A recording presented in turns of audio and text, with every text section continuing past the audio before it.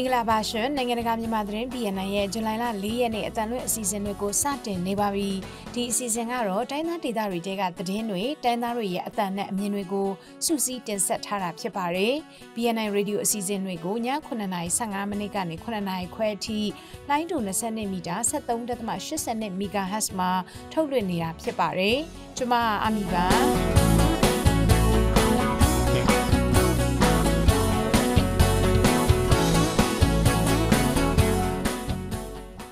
နေ့သတင်းတွေထဲမှာတော့ဒီနေ့တိုက်ပွဲထဲရှမ်းပြည်နယ်မြောက်ပိုင်းလာရှိုးကရက်ကွက်တချို့မှာရှော့တိုက်ဒုံးတွေကြားရောက်ပောက်ကွဲခဲ့လို့ကလေးတယောက်အပါအဝင်6ယောက်သေဆုံးခဲ့ပါတယ်တိုက်ပွဲပြင်းထန်နေတဲ့ရခိုင်ဒေသအတွင်းဆေးဝါးတွေပြက်လက်နေတာကာလကြာရှည်လာပြီဖြစ်လို့နာတာရှည်ယောဂဝေဒနာရှင်တွေအခက်အခဲတွေကြုံနေရပါတယ်သတင်းလွှာတွေထဲမှာတော့မြစ်ကျနာကရေဘေးသင့်ပြည်သူတွေဘာတွေလိုအပ်နေပါသလဲတော်လိုင်းရေးတပ်တွေသိမ့်ပိုက်ထားတဲ့ရေးတဝဲကားလမ်းပိုင်းကိုစစ်ကောင်စီတပ်ကပြန်လည်သိမ်းပိုက်နိုင်ဖို့အလားလာဘလို့ရှိနေပါသလဲဒိုင်ဦးအကျဉ်းထောင်ကိုပြောင်းရွှေ့ခံလိုက်ရတဲ့နိုင်ကျင့်မျိုးသမီးတွေရဲ့အခွင့်အရေးတွေဘလို့မျိုးချိုးဖောက်ခံရရတယ်လဲဆိုတာနဲ့မော်လမြိုင်မြို့မှာမီတာခကျွေးကြံဆိုပြီးတိမ့်နဲ့ချီကောက်နေလို့လူတို့တွေဘလို့အခက်တွေ့နေကြတယ်လဲဆိုတာတွေကိုနားဆင်ရဖို့ရှိပါတယ်အခုတော့သတင်းတွေကိုကျမနဲ့ဒူဆိုင်းမိန်ကနေတင်ဆက်ပြီးသွားမှာပါ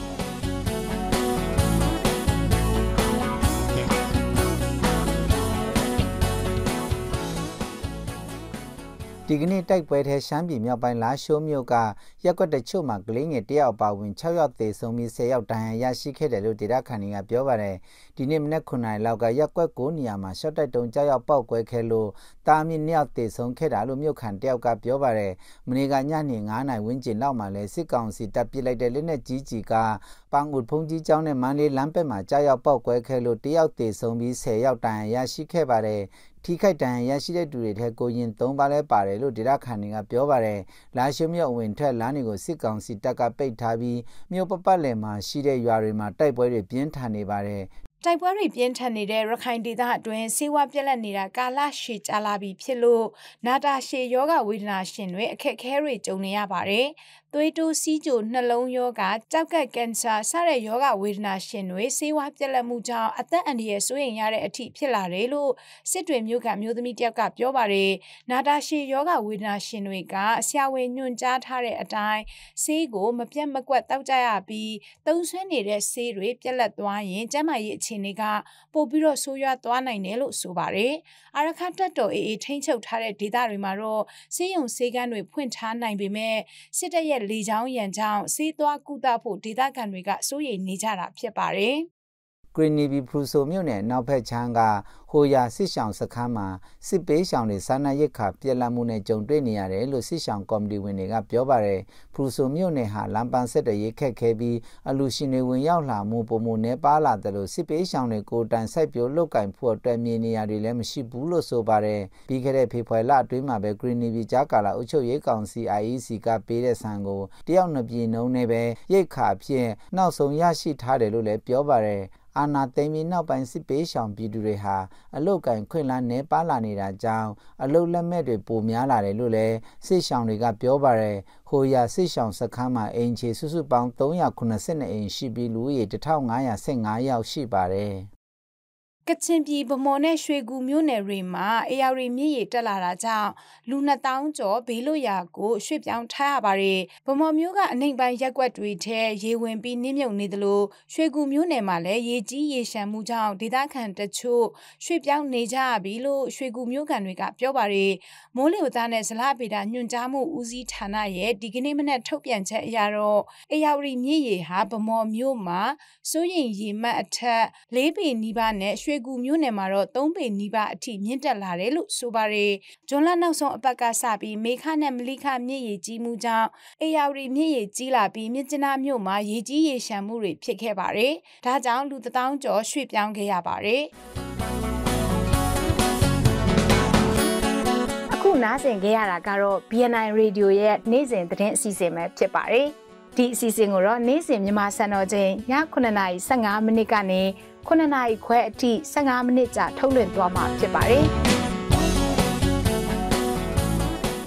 အခုဆက်ပြီးသတင်းလွှာတွေကိုတင်ဆက်ပေးသွားမှာပါကချင်ပြည်နယ်မြစ်ကြနာမြို့ကရေဘေးသင့်ပြည်သူတွေတောက်သုံးရေအစားအသောက်နဲ့ဆောင်းတွေလိုအပ်နေတယ်လို့ဆိုပါတယ်မြစ်ကြနာသတင်းဂျာနယ်ကမိုင်းနီယာသတင်းပေးပို့ထားပါတယ်လက်တလုံးရေကြီးရေရှမ်းဖြစ်ပေါ်မှုအတွင်းမြစ်ကြနာမြို့နယ်12မိုင်လောက်ဝေးတဲ့နေရာကအင်ဂျီ60ထက်မနည်းရေဘေးဒုက္ခကိုကြုံတွေ့ခဲ့ရတာပါ အဲ့ဒီထဲမှာအာလမ်ကျေးရွာအုပ်စုဥပိကျေးရွာကလူတွေလည်းပါဝင်ပါတယ်အခုအခါဒေတာခံပြည်သူတွေအားလုံးနေကိုပြန်လာနေကြပြီဖြစ်ပေမဲ့ရေဝင်ရောက်ချတာကြောင့်တောက်ရည်နေသုံးရည်တွေခက်ခဲဖြစ်နေတဲ့အပြင်အစားတောက်တွေပါလိုအပ်နေတွေလို့ရရွာအတွင်းကိုကြီးဆောင်ရွက်ပေးနေတဲ့လူငယ်သူကမြချနာတရင်ကြားနေကိုအခုလိုပြောပါရယ်တုံတာဝန်တရခါဤခါဆန်နေငါဤလူခါလူခါကဲခက်ကလူခါငါလန်ခါငါဤ အိမ်မှာရေတတ်မရှိဘူးတောက်တုံးရေတုံးရေတွေလည်းမရှိဘူးတချို့အိမ်တွေဆိုပစ္စည်းတွေအကုန်ရေထဲမြုပ်သွားတာတချို့ပစ္စည်းတွေရေထဲမျောသွားတာတွေရှိတယ်တောက်တုံးရည်နဲ့ဆေးဝါးကတော့အရေးတကြီးလိုအပ်တာပေါ့။ဆောင်းတွေပါသွားတာလည်းရှိတယ်။တချို့အိမ်တွေဆိုတအိမ်လုံးမြုပ်သွားတော့ရွှွန့်ထဲမှာထည့်လိုက်တယ်လို့ဖြစ်သွားတာလေ။ လက်ရှိချိန်မှာတော့ရေရွာအတွင်းကရေကော်မတီကနေစီစဉ်ပေးနေတဲ့တောက်တုံးရေကိုသုံးဆွဲနေသူတွေရှိသလိုတောက်တုံးရေလက်ကျန်သုံးဆွဲနေသူတွေပါရှိပြီးတချို့ကတော့ရေတွင်းကနေတဆင်ပြန်လေကျိုးချက်သုံးဆွဲနေကြတယ်လို့သိရပါတယ် ရွာအတွင်းတောက်တုံးရည်တန်ကရောက်ရှိပေမဲ့လေယာစိုက်ပျိုးရေးလုပ်ငန်းနဲ့လက်လုပ်လက်စားတွေများတဲ့ဥပဒေတခံပီတူတွေအတွက်တောက်တုံးရည်ဝေတောင်းနိုင်ဖို့အဆင်မပြေဘူးလို့လည်းအချက်ပါလူငယ်ကပြောပါရယ်အာလမ်ကျေးရွာအုပ်စုအတွင်းကဥပဒေကျေးရွာသားမကအာလမ်ကျေးရွာနဲ့လမုံစုပ်ကျေးရွာကလေတခံပီတူအချို့ပါရေပေးတင်ခဲ့ပြီးတော့အဲ့ဒီကျေးရွာသုံးခုထဲကရေပေးတင်ပီတူအများစုဟာဥပဒေကျေးရွာကဖြစ်တယ်လို့သိရပါရယ် လက်ရှိစရင်အရဥပဒေရွာသွင်းမှရှိတဲ့အင်ချီလေးရကျော်တဲကအင်ချီ60ထက်မနည်းရေးပေးတင်ခဲ့ပြီးဥပဒေရွာအောက်ဘက်ကအင်ချီတွေပါပေါင်းရင်ဒီထက်ပိုများလာနိုင်တယ်လို့လည်းဆိုပါရယ်။ရော်တင်မြက်ထက်ပိုင်းမှာမိုးရသွန်းမှုများတာကြောင့် မြေရည်ကြီးမြင့်လာတာဖြစ်ပြီးမကျနာမြို့အတွင်းလက်တလုံးမြင့်တက်သွားတဲ့မြေရည်အမတ်ဟာအမြင့်ဆုံး1406စင်တီမီတာရှိခဲ့တာကြောင့်မြို့တွင်မြေနေမရက်ကွက်တွေနဲ့မြို့နယ်ဝေးတဲ့ကျေးရွာတွေအထိပါမြေရည်တွေဝင်ရောက်ခဲ့တာပါရေးတဝဲလမ်းပိုင်းကိုစစ်တပ်ကအင်အားဖြည့်တင်းနေပေမဲ့လည်းပြန်လည်ထိန်းချုပ်နိုင်မှာမဟုတ်ဘူးလို့တော်လှန်ရေးအင်အားစုတွေဘက်ကပြောဆိုနေကြပါတယ်။ဘာကြောင့်ပြန်လည်ထိန်းချုပ်နိုင်မှာမဟုတ်ဘူးလို့ပြောဆိုရတယ်လဲဆိုတာကိုတော့လွတ်လပ်သောမွန်သတင်းအေဂျင်စီကနဒီယာတင်ဆက်ပေးပါမယ်ရှင်။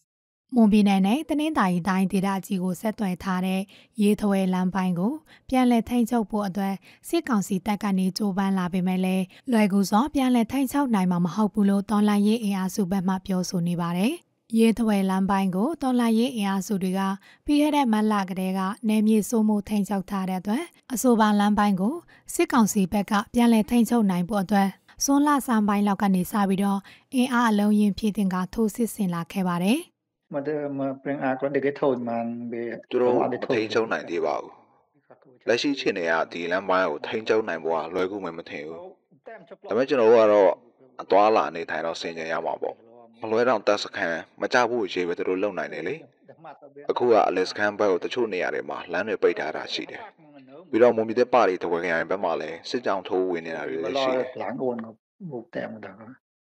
ရေးထွေလမ်းပိုင်းကိုတော်လန်ရေးအင်အားစုတွေကထိန်းချုပ်ထားတဲ့အတွက်ကြောင့်စစ်ကောင်စီတပ်တွေကရိတ်ခါပိုးဆောင်ရာတွေမှာရေချောင်းလမ်းကိုသာအုံပြုသွားလာနေရတဲ့အတွက်အဆိုပါလမ်းပိုင်းကိုပြန်လည်ထိန်းချုပ်နိုင်ဖို့အတွက်ကြိုးပမ်းလာခြင်းဖြစ်တယ်လို့ရင်းကဆက်လက်ဆိုထားပါတယ်။အဆိုပါလမ်းပိုင်းတစ်လျှောက်ကိုစစ်ကောင်စီဘက်ကနေအင်အားလုံးရင်းနဲ့စစ်ဆောင်ထိုးဝင်ရောက်လာပေမဲ့လည်းစောက်ခွာပေးမှာမဟုတ်ဘူးလို့တော်လှန်ရေးအင်အားစုတွေမှာပါဝင်တဲ့မွန်ပြည်တော်လှန်ရေးတပ် MSRS မှာပြောရေးဆိုခွင့်ရှိသူနိုင်နဂါကဆိုပါတယ်။ alone နဲ့ညံကလာမကတိပိုကပလမ်မထိန်ချုံနိုင်အောင်တော့လုပ်တင်တာလုပ်နိုင်ကြတော့လုပ်နေအောင်ပါပဲပြန်ဆုတ်ခွာပေးဖို့တော့မရှိဘူးအခုကအဲ့ data တဝိုင်းမှာရှိတဲ့ data ခန့်တွေကရွာကနေပြေးထွက်ကုန်ပြီလေဂရိန်ပိုင်းရွာကျုံဝိုင်းကလူတွေတောင်ရွာကနေထွက်ပြေးနေကြပြီပေါ့လို့ဆိုတော့လည်းနဲ့ကြည့်နေရန်တမ်းပြေးနေကြတယ်မ လို့ဘောချက်ချေလို့နှောကကြလက်ရှိတွင်စစ်ကောင်စီစစ်ကြောင်းထိုးနေတဲ့ရာဖူးကြီးရွာနီးတဝိုက်တွေမှာမော်ရဝတီရေတပ်စခန်းကနေလက်နက်ကြီးတွေနဲ့ရွာထဲကိုမကြာခဏရန်တမ်းပစ်ခတ်နေပြီးမလွှဲတောင်တပ်စခန်းတွေဘက်မှာလည်းအင်အားထပ်ဖြည့်ထားတဲ့ပြင်ရေဖြူမျိုးနဲ့ကလိုက်အောင်မျိုးအထိစစ်စစ်ရေးကိုက်ဖွင့်လှစ်ထားဆဲရှိတယ်လို့တော်လှန်ရေးအင်အားစုတွေကဆိုပါတယ်။ ပဲခူးတိုင်းဒေသကြီးဒိုက်ဦးအကျဉ်းထောင်မှာအကျန်းဖက်ဖြိုခွင်းခံရတဲ့နိုင်ကျင်းသူအယောက်30ကိုအကျဉ်းဦးစီးဌာနကဒီနေ့အချိန်ထိစေကူတာခွင့်မပေးဘဲဆက်လက်ပြီးတော့တိုက်ပိတ်ထားဆဲဖြစ်တယ်လို့ထောင်နဲ့နှိဆက်သူတွေကပြောပါတယ်။သတင်းနဲ့မီဒီယာကွန်ရဲ့သတင်းဌာနကစမိုင်းရတင်ဆက်ထားပါတယ်။ ဈေးကူတာခွင့်မရသေးတဲ့နိုင်ကျင်းသူတွေဟာမွန်ပြည်နယ်ကြိုက်မရောထောက်ကနေပြောင်းရွှေ့လာသူတွေဖြစ်ပြီးထောက်ပြောင်းလာတဲ့ဇွန်15ရက်နေ့မှာသူတို့ပါလာတဲ့ပစ္စည်းတွေကိုအကျဉ်ဦးစီးဌာနကမူရည်စေအကြောင်းပြရှာဖွေပြီးအကြမ်းဖက်ရိုက်နှက်ခဲ့ကြပါတယ်။ဇွန်လ30ရက်နေ့အထိဈေးကူတာခွင့်မရသေးတဲ့အတွက်စိုးရိမ်နေကြတယ်လို့မြန်မာနိုင်ငံလုံးဆိုင်ရာအကျဉ်းသားများကွန်ရက် PPNM ဦးဆောင်ကော်မတီဝင်ကိုတိုက်ထွန်းဦးကပြောပါတယ်။ ကကျန်တဲ့သူတွေကကြတော့ဘလို့ဒဏ်ရာပဲရတာလဲဆိုတော့မြို့တော်ဝင်တဲ့နေကလေးကွာနဲ့ဝိုင်းပစ်တာဖြစ်တယ်ကွာလေးကွာမှန်တဲ့ဒဏ်ရာပေါ့နော်ပေါ့နော်လေးကွာမှန်တဲ့ခံစားမှုပေါ့နာကျင်မှုပေါ့အဲ့ဒီဒဏ်ရာကိုအဓိကရကြတာဖြစ်တယ်အဲ့တော့အဓိကသူတို့ဘက်က UDP ဖြိုခွဲပြီးမှရိုက်နေတာကြတော့ထောင်ပြောင်းရွှေ့လာတဲ့နိုင်ငံရေးချင်းတူတွေပေါ့နော်အဓိကအားဖြင့်ကသူတို့ကိုတင်ပြတဲ့သူတွေသူတို့နဲ့ထိတိုက်တွေ့နေရတဲ့နိုင်ငံရေးချင်းတူတွေပေါ်မှာအဓိက UDP မှာဒါအချမ်းဖက်ဖြိုခွင်းရိုက်နေခဲ့တာဖြစ်ပါတယ်အဲဒါကြောင့်မို့လဲဒီ30ကျော်လောက်ကအာထိခိုက်ဒဏ်ရာကို ရခဲ့ပြီးမှပေါ့နော်ပိုရေးရခဲ့ပြီးမှဒါတိုက်ပါပိတ်ခံခဲ့ရတာပေါ့နော်နိုင်ကျင်းသူတွေကိုနဘတ်တော့ရာဘာတော့ဂျာပုတ်အုံနီခဲရီနဲ့ရိုက်နှက်ခဲ့တဲ့အပြင်လေးခွရောတင်းနဲ့နဲ့ပါမတိဆုံးနိုင်တဲ့ခန္ဓာကိုယ်နေရာတွေကိုပြစ်ခတ်ခဲ့ပြီးနောက်တိုက်ပိတ်ခဲ့တာဖြစ်ပါတယ်တိုက်ပိတ်ခံထားရတဲ့နိုင်ကျင်းသူတွေထဲကသွေးထွက်လွန်ပြီးအသက်အန္တရာယ်ဆိုးရရသူတွေလည်းရှိနေတယ်လို့ဆိုပါတယ်။ ထိုင်ဦးထောင်မှာအမျိုးသမီးဆောင်အနေနဲ့တဆောက်သေးပဲရှိတာဖြစ်ပြီးတိုက်ပိတ်ခံရသူတွေကိုရှစ်ယောက်တခန်း၁၀ယောက်တခန်းနှုံနဲ့ပြုတ်သိပ်ထည့်ထားတဲ့အပြင်ရည်နဲ့အစာတွေကိုပုံမှန်ပုတ်ပေးခြင်းလည်းမရှိဘူးလို့အကျဉ်းထောင်တဲ့နီးစပ်သူတွေကပြောပါတယ်တက်လိုက်ပြီးပြုတ်ကျတဲ့အကျဉ်းသားကိုဈေးကုပေးဖို့တောင်းဆိုတဲ့နိုင်ကျဉ်သူတွေကိုထောင်စုပူအောင်လုပ်တယ်ဆိုတဲ့အကြောင်းပြချက်နဲ့ဇွန်လ15ရက်နေ့မှာဒိုက်ဦးထောက်ကိုပြောင်းရွှေ့ခဲ့ကြတာဖြစ်ပါတယ်။ မွန်ပြည်နယ်ရဲ့မြို့တော်မော်လမြိုင်မြို့မှာတော့စစ်ကောင်စီရဲ့လက်စစ်ဌာနကနေနေအိမ်တွေမှာမီတာခအကျွေးကြံတာတွေရှိတယ်ဆိုပြီးတိမ့်နဲ့ချီပြီးတော့လိုက်လံကောက်ခံနေပါတယ်။မပေးသွင်းနိုင်တဲ့အိမ်တွေကိုလည်းမီးဖြတ်တာတွေလုပ်နေတယ်လို့ဒေသခံတွေကတန်လွင်ထိုင်းကိုပြောပါတယ်။အိမ်မီဆန်ကအသေးစိတ်ပြောပြထားပါတယ်။မီတာယူနစ်ပျောက်ဆုံးမှုတွေရှိနေတဲ့ဆိုတဲ့စစ်ကောင်စီရဲ့ညွှန်ကြားချက်ကြောင့် လျှက်စစ်ဌာနကမီတာစီးတွေဟာနေအိမ်တွေမှာအရင်ယူနစ်အကျွေးကြံရှိတယ်ဆိုတဲ့အကြောင်းပြချက်နဲ့ယူနစ်တွေပေါင်းပြီးငွေကျပ်သိန်းနဲ့ချီကောက်ခံလာတာပါ။တန်လွင်တိုင်းကစုံစမ်းမင်းမြတ်မှုတွေအရအရင်ကတလလျင်မီတာကြီးကျပ်1000ကျော်ကုန်ကျနေတဲ့နေအိမ်တွေဟာအကျွေးကြံဖြစ်ကျပ်2သိန်းနီးပါးပေးသွင်းနေရသလိုအသုံးများနေတဲ့နေအိမ်တွေဆိုရင်အကျွေးကြံဖြစ်ကျပ်သိန်း10နဲ့ချီကောက်ခံနေပါတယ်။လျှက်စစ်မီတာစည်ရေးတွေကတော့အာနာသိန်းကာလတွင်မီတာယူနစ်တွေကိုစိတ်မှန်းနဲ့သာထည့်သွင်းကောက်ခံခဲ့ပြီးအခုခါမှအသေးစိတ်ကောက်ခံရတာကြောင့်ယူနစ်အကျွေးကြံတွေပိုများသွားတာလို့အကြောင်းပြတာပါလျှက်စစ်မီတာအကျွေးကြံတွေကောက်ခံရမှာမပေးသွင်းနိုင်တဲ့နေအိမ်တွေကိုစစ်ကောင်စီလျှက်စစ်ဌာနကမိဖြတ်တာတွေလှုပ်ဆောင်နေတယ်လို့မော်လမြိုင်မြို့ကန်တဦးကတန်လွင်တိုင်းကိုပြပြပါတယ်ကျွန်တော်အိမ်ရင်တော့၄တောင်၅တောင်ကြားတဲ့အိမ်ကအခု7တောင်ကြားပါတယ်အဲ့လိုပဲကျွန်တော်အိမ်ဝီနာမှာမှာခုနသိန်းဆိုကြားတယ်ဒီမှာအိမ်မော340အောင်မကောက်ဘူးအဲ့လိုကြီးပဲအခု9000ဆိုသိန်းဝေးနှစ်သိန်းကြားတဲ့ခါကျတော့သူတို့မတွင်းနိုင်မတွင်းနိုင်ရင်မိကလာဖြတ်တယ် ဒါအပြင်မီတာယူနစ်ကျွေးကြံရှိတယ်လို့မီတာစီးတွေကပြောပေမဲ့ဘယ်တော့ကအသုံးပြုပြီးဘယ်လတွေကယူနစ်ကျွေးကြံရှိခဲ့လဲဆိုတာကိုတော့တိတိကျကျပြောဆိုမှုမရှိဘဲယူနစ်ကျွေးကြံတွေမသွင်းရင်လျှက်စစ်ဥပဒေနဲ့အရေးယူမယ်ဆိုပြီးချင်းချုပ်တာတွေရှိနေပါတယ်မီတာယူနစ်ကျွေးကြံကောက်ခံမှုကြောင့်လျှက်စစ်မီအဖြစ်မခံရအောင်မီတာကြီးအတွက်သာရှာဖွေနေရတဲ့အတွက်စာဝတ်နေရေးပုံမကျတဲလာတယ်လို့မော်လမြိုင်မြို့ကန်တူကပြောပါတယ်ပုံမှန်ကြားနေကြဥမာတလားတကောင်ဆိုဗျာသူကမီတာကိုအဲ့လိုမျိုးဟိုဘယ်လိုပြောမလဲ သူစိတ်မှန်တဲ့ဖက်ပြီးတော့ ပုံမှန်တကောင်ကြားကြအိမ်ဟာအခုတသိန်းတော့ကြားသွားပြီဆိုအဲ့ဒီအိမ်တအိမ်ဟာပူပြီးတော့ အခက်အခဲဖြစ်မှာပေါ့ဗျာဆိုတော့အခုဟိုတပြောလဲသူတို့မှအာနာသူတို့မှပဲ ရှိတာလေဇောင်းများစိတ်မှန်တဲ့ လာလာပြီး ဖတ်သွားပြီးတော့ဟိုမရှိရသူဆို ပို့ဆိုးတာပေါ့တွားရင်လည်း မီတာထက်အောင်မှာ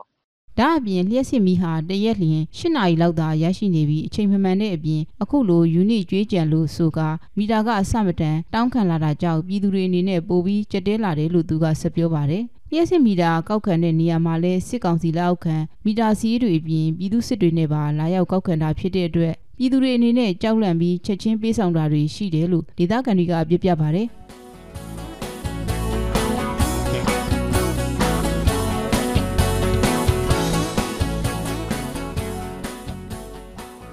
နားဆင်ခဲ့ရတာကတော့ BNI Radio ရဲ့နေ့စဉ်သတင်းအစီအစဉ်ပဲဖြစ်ပါတယ်။ဒီအစီအစဉ်ကိုတော့နေ့စဉ်မြန်မာစံတော်ချိန်ည9:15မိနစ်ကနေ9:00ခွဲအထိ15မိနစ်ကြာထုတ်လွှင့်သွားမှာဖြစ်ပါတယ်။နားဆင်ပေးကြတဲ့အတွက်ကျေးဇူးတင်ပါတယ်ရှင်။